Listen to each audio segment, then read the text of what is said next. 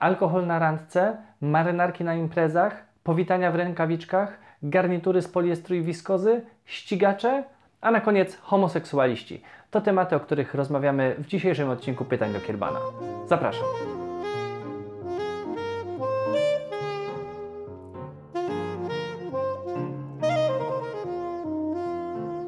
Witam na czasie dżentelmenów. Nazywam się Łukasz Kielban, a to jest wreszcie kolejny odcinek serii Pytań do Kielbana, serii, w której odpowiadam na Wasze pytania zadawane w różnych miejscach.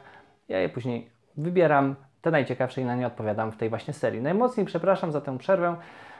Po prostu wynikała z tego, że miałem bardzo dużo różnych pomysłów na inne materiały i też natłok innych zajęć, więc w efekcie pytania do Kielbana były zawsze odkładane na później, aż się zrobiło z tego parę miesięcy. Nie powinienem tego robić, wybaczcie. Już słyszę, że przesadzam z moim e i wielu przeciwników tej wymowy na pewno już się irytuje. Przepraszam za to również, nie mogę się tego wyzbyć. Przejdźmy już do tematu. Pan Michał pyta, czy na randce z abstynentką można zamówić sobie alkohol. Czy to wypada? Osobiście uważam, że warto byłoby w tym momencie się powstrzymać, ponieważ przede wszystkim randka to nie jest jakaś impreza, na której musimy pić i się dobrze bawić. Dobrze, aż tak dobrze a raczej jest to spotkanie nastawione na wspólne spędzanie czasu i lepsze poznawanie się. Dlatego warto byłoby tutaj się dostosować do siebie i nastawić właśnie na takie otwarcie, wyjście frontem do siebie nawzajem, zwłaszcza jeśli druga strona ma takie poważne ograniczenia. Zupełnie inną sprawą jest to, skąd te ograniczenia wynikają, ponieważ ta dziewczyna może mieć na przykład bardzo negatywnie skojarzone skutki picia alkoholu i moglibyśmy sami pod sobą dołki kopać, spożywając ten alkohol. Wydaje mi się to zupełnie tutaj niepotrzebne. Z czasem natomiast oczywiście, kiedy ta para lepiej się pozna, sprawa już nie będzie taka, um, nie będzie wymagała takiego generalizowania i dostosowywania się do ogółu abstynentów, tylko będzie można zwyczajnie w świecie uzgodnić tego typu sprawy między sobą i może się okazać, że ta dziewczyna nie ma nic przeciwko, jeśli on będzie pił, a może się okazać, że faktycznie będzie miała i wtedy należałoby to rozważyć. Pan Łukasz pyta natomiast, kiedy można zdjąć marynarkę na studniówce albo weselu do tańca? To jest wątpliwość, którą ma zdecydowana większość mężczyzn mm, ze względu na to, że nie czują się zbyt komfortowo w e, marynarkach garniturach i nie pozwalają one na taką swobodę ruchów podczas tańca, zwłaszcza tego szybszego. Z drugiej strony, większość z nas jakoś tam kojarzy, że mm, zdejmowanie tej marynarki nieco psuje nasz wygląd, kiedy jesteśmy w garniturze. A wynika to z tego, że koszula kiedyś była traktowana jako bieliznę i marynarka była obowiązkową rzeczą na koszuli. Było to dawniej. Obecnie już pozwalamy sobie na chodzenie w koszulach i, i wiele osób w ogóle nie kojarzy ich z bielizną, ale mimo wszystko obniża to mocno nasz, formalność naszego stroju. I tutaj powinniśmy uważać mm, na otoczenie, zwłaszcza. Osobiście bym powiedział, że warto mieć takie marynarki, w których można przetańczyć cały wieczór, takie, które będą dobrze przepuszczały powietrze. Wiem, że większość z nich taka nie jest e, i większość osób nawet nie chciałoby tak robić, więc polecałbym poczekanie do na przykład północy, kiedy już atmosfera się rozluźnia i te marynarki gdzieś tam znikają e, z ramion mężczyzn, to moglibyśmy pójść e, tym śladem. Ewentualnie na weselu, kiedy na przykład pan młody zdejmie marynarkę, byłby to dobry znak do tego, żeby postąpić podobnie, ponieważ jest gospodarzem, więc to on ustala reguły. Natomiast zadbałbym raczej o to, żeby nie być tą pierwszą osobą, która zdejmuje marynarkę i rozbiera się do tańca. Bo po co? Pan Stefan pyta, czy można podać rękę w rękawiczce bez palcy do powitania drugiej osobie. Ogółem przyjmuje się w naszej kulturze, że podawanie dłoni w rękawiczce, bez względu na to, czy ma ta rękawiczka palce, czy nie, osobie, która nie ma takiej rękawiczki, jest nieeleganckie. Więc powinniśmy tego unikać. Wynika to z tego, że Niektórzy to interpretują jako niechęć do dotknięcia kogoś. Ktoś może się zastanawiać, czy ta rękawiczka nie jest przypadkiem jakaś robocza. Nie płyniemy z tematem, ale takie myśli mogą się pojawiać i mogłoby to źle wpłynąć na odbiór naszej osoby i naszego gestu. Z kolei pamiętajmy też, że jeśli obie strony rękawiczki mają, niezależnie czy są to rękawiczki palczaste czy bez palcy, na przykład kiedy uprawiamy jakiś sport albo jeździmy na rowerach i obie strony mają takie rękawiczki, to nie musimy ich ściągać, bo wtedy następuje taka równość i nie ma obowiązku ściskania sobie dłoni em, skóra do skóry. Po prostu zależy nam na tym, żeby występowała równość, czyli albo obie strony mają rękawiczki, albo żadna. Dodałbym tutaj jeszcze, że kiedyś przyjmowało się, że kobiety mogą nosić rękawiczki w praktycznie każdej sytuacji i należałoby traktować taką, taką dłoń jako em, rozebraną, czyli tutaj mogła następować taka nierówność. Jest to zasada z dawnych czasów, dzisiaj raczej trochę zapomniana i niekoniecznie bym do niej przywiązywał jakąś wielką wagę. Myślę, że radziłbym tutaj kobietom jednak podążanie za takimi nowoczesnymi trendami e, równościowymi, bo ich gest mógłby również być źle zrozumiany. Czy dżentelmenowi wypada jeździć na ścigaczu? Pyta pani Dominika. Jest to pytanie serii, czy wypada dżentelmenowi robić coś albo coś posiadać, mm, czymś się otaczać. I przytaczam takie pytania po to, żeby powtarzać, że to nie chodzi o to, co robimy, tylko jak robimy. I nie widziałbym nic złego w tym, że ktoś jeździ na ścigaczu, nawet na torze może się ściga i czerpie z tego wielką przyjemność, a po godzinach, znaczy po godzinach, a poza tym jest po prostu dżentelmenem, ponieważ myśli o innych osobach i wyznaje jakieś wartości, ma kręgosłup moralny, dba o siebie, rozwija się i tak dalej. Nie ma tutaj sprzeczności. Natomiast kiedy zobaczyłbym kogoś, kto jeździ na przykład przy, u, albo ulicami e, osiedla, albo gdzieś środkiem miasta, strasznie głośną maszyną i pozwala jej ryczeć i zaburza tym samym spokój wszystkich ludzi mieszkających w obrębie kilometra, to takiej osoby już nie uznaję za, za dżentelmena. Więc polega to tylko na tym, że mamy tu jakieś narzędzie i pytanie, jak, go, jak, jak będziemy go używać. I to, jak będziemy używać, będzie świadczyło o tym, czy zasługujemy na miano dżentelmena, czy nie. Pan Kamil, nie posiadając jeszcze odpowiedniej wiedzy, kupił sobie garnitur z 70% poliestru i 30% wiskozy. I pyta, czy będzie to odpowiedni garnitur na maturę i studniówkę. Niestety nie jest to dobra tkanina i jeśli jeszcze się nie orientujecie, to musicie wiedzieć, że poliester, jak i wiskoza, chociaż czasami mówi się, że wiskoza należy do, już do tych bardziej naturalnych tkanin, ale jest bardzo mocno przerobiona, więc ja bym ją prędzej zaliczał do tych sztucznych. Um, ale z mojej strony to jest troszeczkę naciągane.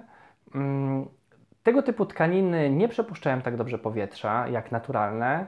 Um, będą źle się, znaczy gorzej będą się zachowywały od prawdziwej wełny, mm, będą mogły się nieco błyszczeć, trochę szeleścić, bardziej przypominać coś sztucznego. Nie jest to tkanina, do której byśmy chcieli się przytulić jednym słowem.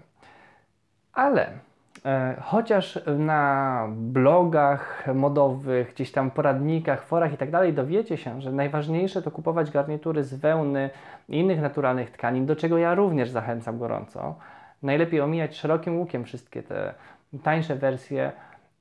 To mimo wszystko ja sobie zdaję sprawę, że dla kogoś wydanie 1500 mm, zł na wełniany garnitur to jest bardzo duże wyrzeczenie, zwłaszcza jeśli na przykład nie chce chodzić w nim częściej niż na tą maturę, no to łatwiej będzie mu wydać 300 czy 400 zł na dużo tańszy garnitur, który po prostu z mniejszym żalem pozostawi do zakurzenia w szafie. Um, więc tak, taki garnitur będzie odpowiedni na maturę, będzie mniej wygodny, czy na też jakąś tam wesele, czy, czy, czy inną okazję tego typu, kiedy musimy już założyć garnitura, nie będziemy go nosić na co dzień, um, taki od święta. Okej, okay, będzie to znośne. No, nikt nie będzie tutaj nikogo raczej oceniał e, po tym, jak ten garnitur e, wygląda, nikt nie będzie nikogo pytał, z jakiej tkaniny jest ten garnitur wykonany, to przede wszystkim ma znaczenie dla osoby, która nosi taki garnitur, ponieważ garnitury z naturalnych tkanin nosi się przyjemniej, wygodniej, chętniej. I ja to sam dostrzegam też na swojej garderobie im mam lepszej jakości ubrania, oczywiście, które kosztują nieco więcej, tym chętniej je później noszę. I to się w jakiś sposób zwraca. Jestem bardziej zadowolony z tego zakupu. Z kolei te, te ubrania, na których chciałem przeoszczędzić, to później z czasem już dość szybko okazuje się, że one nie są aż takie fajne do noszenia. Zostają częściej w szafie, więc ta oszczędność jest pozorna. Ja tylko tutaj odpowiadając na to pytanie powiem, że okej, okay, nie mamy funduszy na lepsze rzeczy, Taki garnitur też będzie dobry. E, nie będzie to jakieś jakaś wielka gafa, nikt nie będzie tutaj nikogo wytykał palcami, ale zachęcam do poszukiwania naturalnych tkanin, zwłaszcza z wełny, garniturów, bo to będą takie najbardziej uniwersalne materiały na ten rodzaj ubrań. Na koniec pytania zadawane przez różne osoby, już wielokrotnie, pytania przeze mnie pomijane do tej pory, też z uwagi na to, że jest bodajże najbardziej kontrowersyjne z poruszanych na, w tej serii um, od początku jej istnienia, czy też nawet na kanale i blogu. Pytanie dotyczy to podchodzenia do homoseksualistów, myślenia o homoseksualistach, jak dżentelmen, jak mężczyzna z klasą powinien się w takiej sytuacji zachować i tak. Spróbujmy na to odpowiedzieć tak na chłodno. Przede wszystkim, co mnie jako człowieka postronnego w ogóle interesują e, preferencje seksualne osób w moim towarzystwie?